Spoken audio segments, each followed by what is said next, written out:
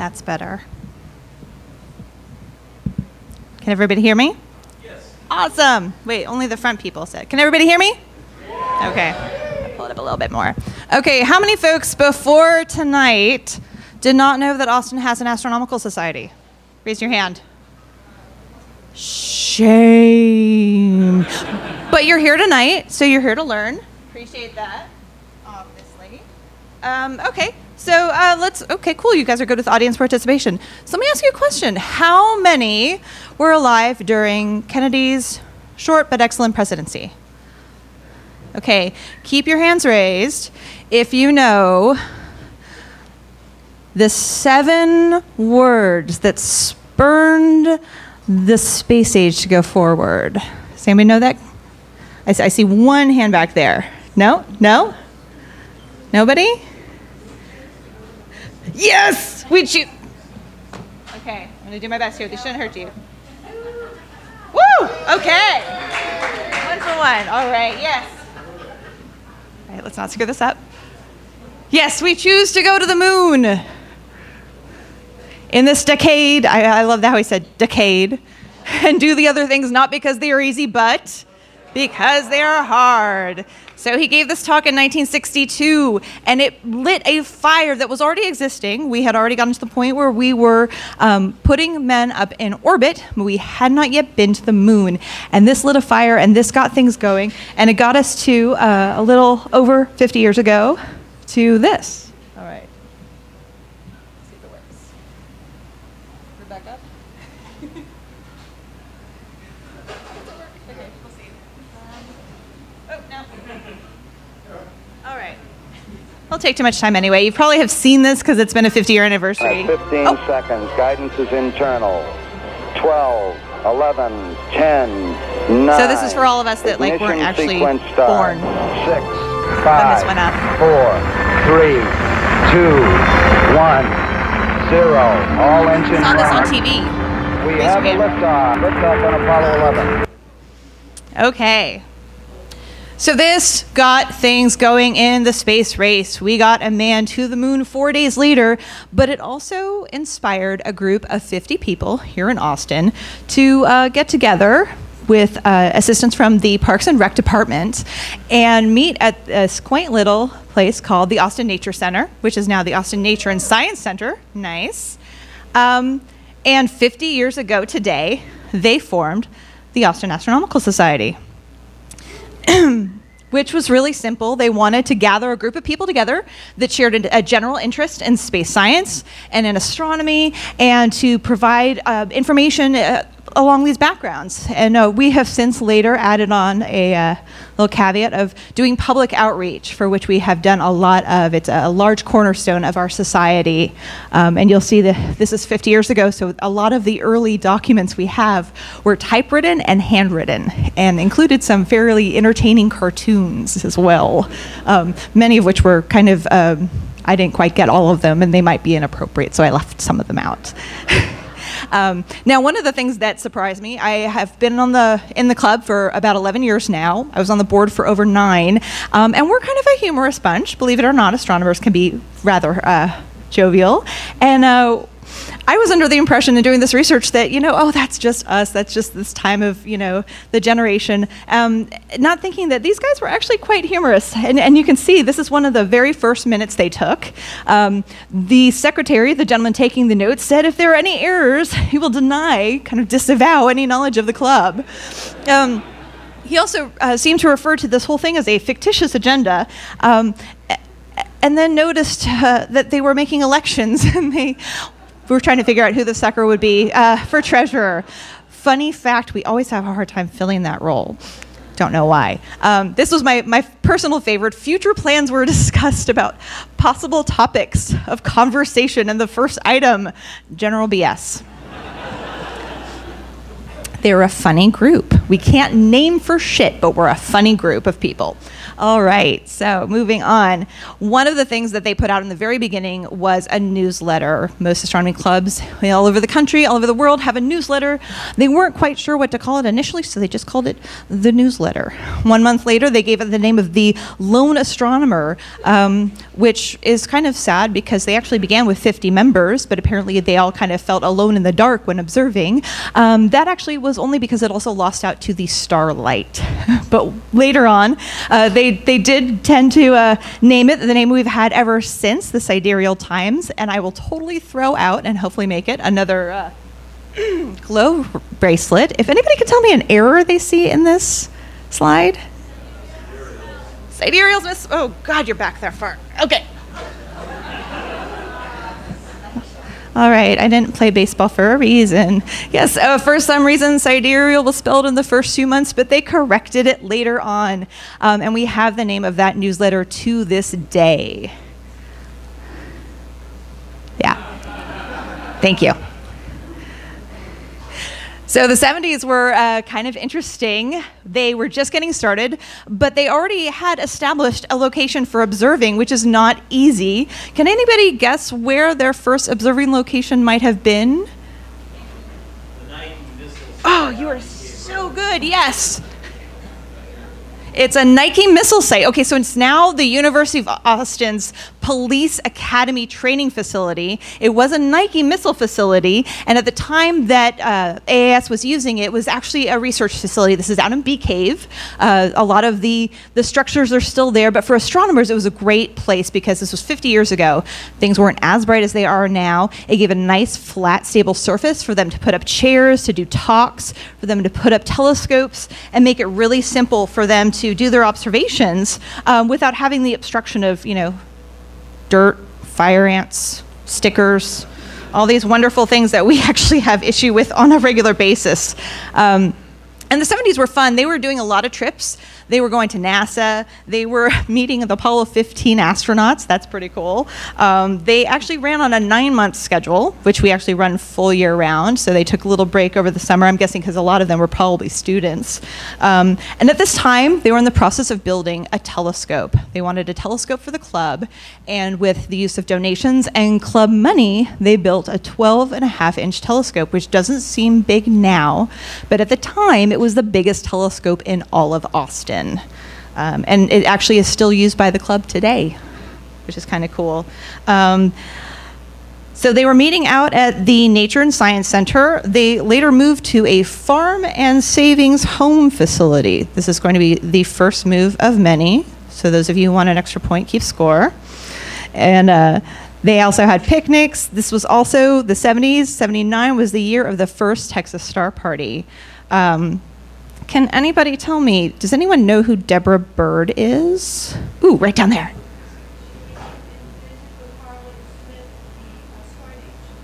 Yes. And she was also the, uh, if anybody knows, she was also the producer, co producer, and writer for a fairly common and very famous uh, radio bit called Stardate. You guys ever heard of it? Raise your hand. Okay. The rest of you, it's 7 o'clock every night, NPR.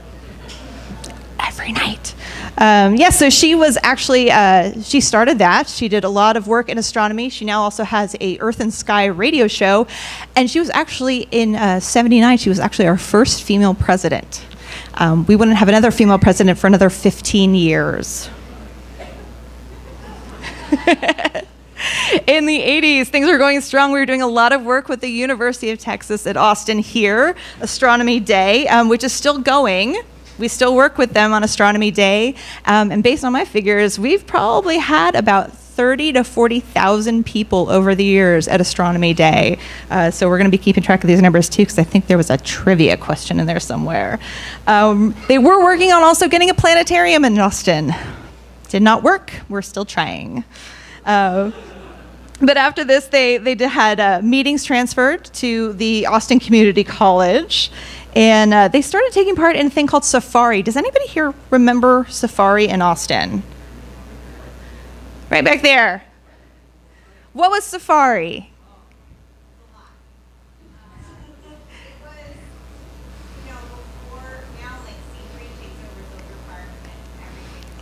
So it was like a big Parks and Rec kind of people coming out. Astronomers brought out telescopes.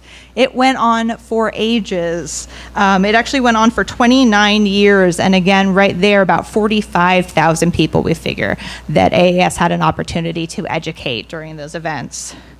Jumping into the 90s, we've got a logo we've got an observatory that we're building. So originally the plans were to build an observatory out at Pedernales Falls. Those fell through. Then the club looked at Pace Bend Park of Lake Travis. And then LCRA came to them and said, Hey, we're building this place called Canyon of the Eagles. We think it might be a good spot for you. And sure enough, they went out there. Uh, they looked at the space. It was a huge field. It was a lovely area. They started immediately. Um, they got t shirts. In fact, down here, we've got a sample of our lovely t shirt. they developed a logo for the observatory and uh, they got moving. And that actually uh, it took about another five or six years um, to get that going. There's a picture of don olson. Does anyone here know who don olson is? All right yes don olson. So back in the the 90s, Don Olson started coming to our meetings. He's probably one of the most well attended presenters we've ever had. If you don't know who he is, look up the Celestial Sleuth or become a member and come to our meetings where he'll probably be talking in a few months. Um, but also during that time, uh, our amateur telescope astronomer group got started, and later on, Greg's to be talking to you a lot about ATM telescopes. Uh, we also, um, unfortunately, in the, in the, early 90s, we had the passing of Harlan Smith, who was a big supporter of AAS, a regular presenter. Um, and so the telescope, the 12 and a half inch telescope that was helped, uh, he helped build, was dedicated in his honor. Um, so that was really important to the club. Uh, we also started Wow Basin events. We started Family Night Under the Stars. Did anybody ever go to Family Night Under the Stars. It's actually the precursor to our annual event now, Austin Under the Stars. Um, this was also where they moved temporarily to the Ernest Cockrell Building. Again, another move uh, for meetings. And they also got their first 501c3, yay, nonprofits. Then we get into the 2000s. This is where things really start speeding up. We're getting up into, you know, the 200, 250 members at this point. Um, also, any guesses how much a monthly membership cost when the club first started? Any guesses, anybody? Anybody? Just throw out a number. Any number. Who, said eight? Who said eight? It was seven. Not bad. Make sure he gets that. Thank you. Actually, by today's inflation, that membership would be $48. You pay a little bit more than half that. So, getting a hell of a deal. Uh, so by excuse me, by the early 2000s, things were really going up the observatory. We were having regular Central Texas star parties, regular star parties every single month for both public and members. Uh, schmooze a little bit with some fancy folks. If can anybody identify that gentleman in the lower picture there? I heard you say that first. Aha. Uh-huh. His, uh, his sister actually uh, used to be a member, and he was a member for a very short period of time. So that's a nice little claim to fame we have. All right, at this point, the 2000s got really busy because we moved to the Bass Lecture Hall, the ECJ meeting room, back to the Bass Lecture Hall, and then we found a new home at RLM. Uh, this was also the year uh, in 2001 that we started with Austin Under the Stars, and we've been running that event with St. Stephen's Episcopal School ever since. So we start at the beginning. There's some really fun stuff here. Typewritten typewritten, somewhat of a header change. Oh my gosh, this was when we got desktop publishing. Yeah.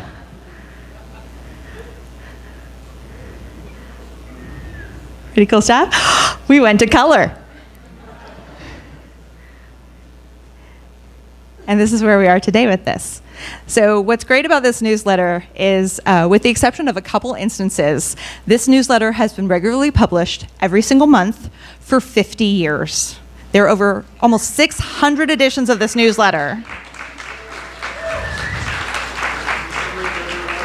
I, actually have looked at every single one, yes, uh, to get information for tonight. Another thing, so in that 50 year span, we've had 25 editors and dozens of more contributing editors. In fact, this newsletter has won the Mabel Stearns Award three times, twice in first place, second place uh, for the third time. That's a huge award because that is actually uh, regulated by the Astronomical League. So this is a newsletter that's won an award out of every single astronomical society in the country.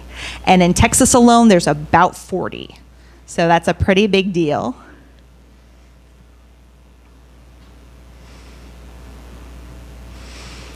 Now, getting into the last 10 years, we've done a lot of awesome stuff. I'm going to pull out the laser pointer here.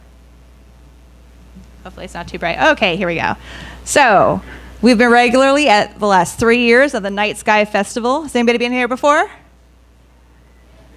Okay, good. Come on drink your beer, drink your beer, talk. All right. We also started introducing a thing called practical astronomy in our meetings. It's a great opportunity for our members to take a little bit of time to educate folks on things that they're interested in astronomy. So it's not just, you know, your big headliner speakers, it's members teaching members. A lot of hands-on stuff, a lot of basic, uh, just getting to know how to use a telescope, how to use eyepieces. Uh, we even had a, a musical band at our holiday parties, a cool banjo and an accordion. We are happening people. Who remembers the Venus Transit of 2012? Who was on the UT campus with us in 2012? We thought we were going to be happy with 50 people. We had 2,000. We went down the entire 14 flights of stairs of the RLM building. It was awesome. And unfortunately, it's not going to happen in our lifetime again, so sorry if you missed it. Uh, We've also since acquired some amazing technology. Terry and uh, Greg are going to go into this. We have a 24 inch and now a 25 inch Dobsonian. So those mirrors are 24 and 25 inches across. That's a light, a lot of light bucket. Uh, we've had some amazing talks. We've had talks from astronauts. We've had a lot of talks from postdocs here. Rebecca's been a speaker for us, I think, twice now. Yes, ma'am. Um, and in fact, just two months ago, we had uh, Dr. Steven Weinberg, a Nobel laureate. Uh, we filled the house. We exceeded capacity. Is there anyone here from the fire department? We had over 125 people attend that event, and he was amazing. So we have some really phenomenal speakers uh, that do come to our events. We also like to go to the movies ever so often we'll get contacted to uh, showcase some information about astronomy. And I think we've been to The Martian. Um, and then where else? We've gone to another movie. Oh, The Hidden Figures. Yeah, so we got to see that early on. Of course, as I mentioned, we have Austin Under the Stars. We do that every year. That draws a pretty big crowd of about 300 to 400 people. Really cool stuff that's happening now. So we severed ties in 2018 with Canyon of the Eagles because we wanted to spread our wings out. And we have amazing partnerships right now with Pedernales Falls State Park. Right. Oh, oh my God, this is not my laser pointer. Hold on. with Pedernales Falls State Park and with Inks Lake State Park. And that's held every other month at each of those locations. And there's actually information on the swag table um, for the following next few months and our star parties out there. Uh, so I mentioned earlier the Mabel Stearns Award. Uh, this is the Astronomical League. So they're sort of the overarching umbrella of all the registered astronomical societies now in the world. They're actually an international program now. Um, they have over 70 different observing programs. So we're not professionals. Uh, we don't do this for uh, pay. We're volunteers. So this is a way for us to do some fun observing lists and get fun pins and certificates. We really love pins lots of pins. Um, but what's awesome is out of the 70 programs they offer, uh, we've had 151 programs that have been awarded to our members. We also have a total of three master observers. So that takes 10 different programs, one of which is called a Herschel 400. And that 400 isn't just randomly placed there. They have to observe 400 objects and log them. So this is actually a lot of work that they're doing in their spare times. A lot of time in the dark, uh, but still a lot of fun. We also have some amazing astrophotographers. We may be amateur astronomers, but these guys are the real deal. These are the professionals that are out there, and they have put out this is just a very modest sampling. We've got folks that are building telescopes, that are building equipment. You'll see tonight we've got some fun prizes, including a planisphere that was designed by two of our members that's out there being used by astronomers, and some phenomenal folks that are just taking some really stunning, in my opinion, in a lot of ways, better than Hubble quality images. We also have a lot of members that do stuff outside and have created organizations and created products. We have the Celestial Teapot, as I was telling you. This is an amazing planisphere. Um, I believe we have Amy Jackson. Where are you? You can just raise a hand. There she is in the back. That is Starry Sky Austin right there. She does her own teaching programs and education programs for adults and children. Uh, actually, one of our honorary lifetime members right here. Does anybody know what this symbol is for? Not down in front not the guys in the front. a program called Sky Safari, used by almost every single amateur astronomer, was designed by one of our members. So that's pretty cool. Uh, we also have a gentleman who's running an International Occultation Timing Association. Say that 10 times fast. Uh, we have a gentleman, Rob Bettingill, who's usually here. I don't know if he's here tonight. Give a shout out if you are. He may be at home recovering. He actually just got back from an ambassador program, a nine day expedition to Chile to look at the telescopes there. So we do some pretty cool stuff in our spare time. And uh, of course, a little shout out to me, Earthbound Astronomer. Some really neat stuff in the horizon we've got a member who's provided us with some phenomenal land where we have dropped our dome telescope and have this space available to our members for dark sky observing. This is huge. Land is expensive. It's really great when we can pair up with somebody who's willing to help us use their space. Also helps when they're also interested in astronomy too. Um, and this area is just developing and it's got a lot of potential for future use. So if that's something that interests you, definitely come talk talk to us, sign up as a member.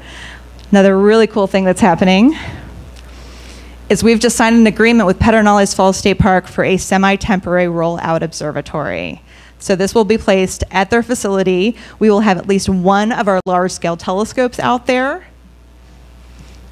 And they've made arrangements to make a path and have areas where we can place our large scopes. And then they'll be in that circle in the field there. We usually set up anywhere from half a dozen to a dozen telescopes on a regular basis during our public star parties. So this is really big. Look for more information. Look for more news coming out about this. We'll probably have a little soiree out there. Hopefully the weather will be clear. So one thing I want to mention, 50 years, it's a long time. Um, but it's also a short time in many respects. Like I said, we've been doing the numbers, we've been crunching some things.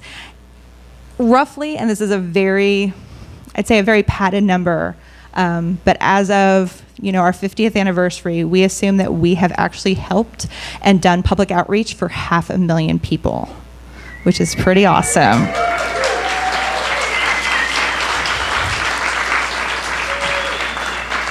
So. Uh, let's aim for another half a million, if at least not more. Thank you.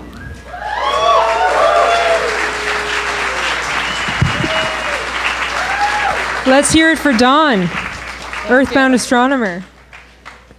Awesome. Okay, so we've got plenty of time for questions, and, and I've got more bracelets. Super good motivation. The way this will work, you ask a question, one of us will remember to, to repeat, repeat it. it. Yes. And then we'll go from there. And if it's a, it's very difficult to see the balcony, so if you have a question up there, please make yourself known. That would be very helpful. So who's got a question? Start us off. Yes. Come see me at intermission. I'll show you how. Can, the question was, can you join tonight? See? Okay, wait. All right. Yeah. oh, well. These are really sweet bracelets. They're red. we use red out on the observing field to protect our eyes. Frisbee. Okay, frisbee style. Frisbee. Okay. Any other Another questions? question? Oh, right there, right there. The coolest thing I've seen in my telescope, um, I actually had it prepared for, yes, but the coolest thing I've seen in my telescope, I actually took my telescope out and had it properly situated for solar observing and got to see my very first full solar eclipse uh, back in 2017 in Casper. So that was pretty phenomenal. 2024 here in Austin, April 8th. We're gonna have a huge, wonderful uh, solar eclipse. Put it on your calendars. Clear your schedule. Question back there.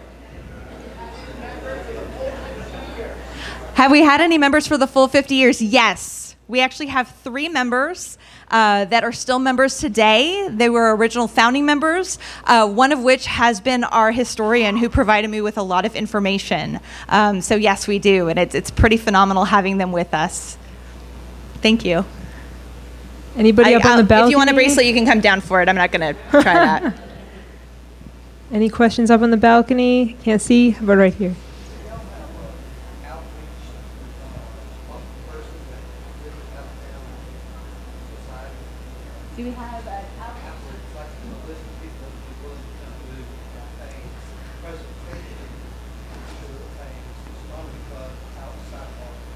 So the question was, do we have folks that would be willing to travel to other clubs to provide outreach? Um, we do. There have been several that have, have traveled. It sort of depends on what the event is, uh, what the travel distance is like. Uh, but if, yes, absolutely. And actually, where is Joyce?